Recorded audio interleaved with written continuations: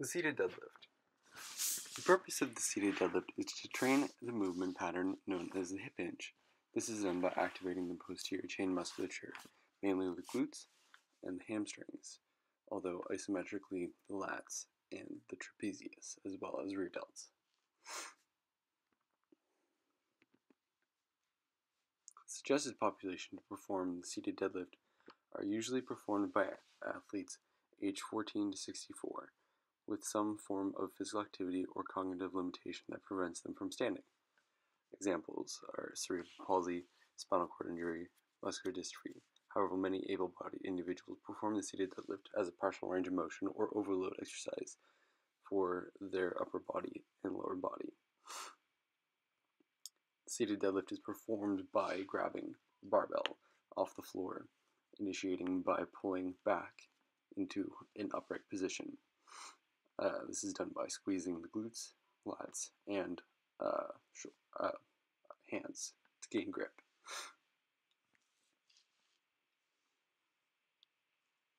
Uh, variations of the seated deadlift can be performed with a band for resistance, as shown here.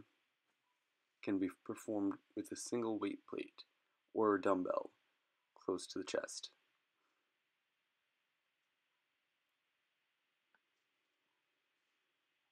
To increase the uh, difficulty of this exercise, the dumbbell can also be extended or far away from the body.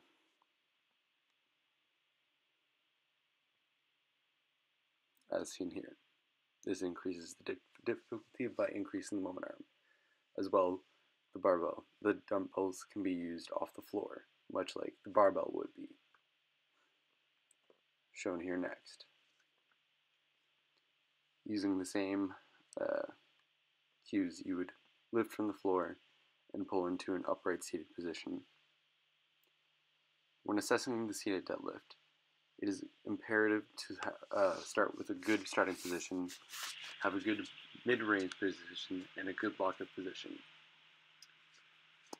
a good starting position is achieved when the spine of the scapula or the back of the arm is directly over the barbell with a neutral or slightly extended upper back. Good mid-range position is uh, initiated by a good starting position, as this is just where the body will end up after the lift is initiated. A good lockout position is uh, achieved when the back of the arm is behind the barbell and the back is completely vertical.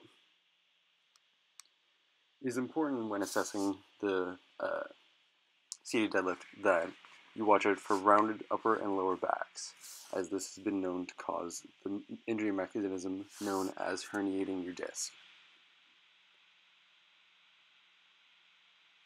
As in here, um, this is hyperextension. This is also negative, although not as bad as hyperflexion, though this can still cause uh, laxity and stretching of the joints, bruising of the nerves, and subsequent micro uh, segmental level or disc ruptures in rare cases. Some teaching cues for the seated deadlift are protect your armpits. This forces the individual to uh, activate their upper and lower back, keeping their spine neutral, decreasing the amount of hyperflexion or hyperextension they will experience during the lift. Another cue that would work for individuals is shrug down.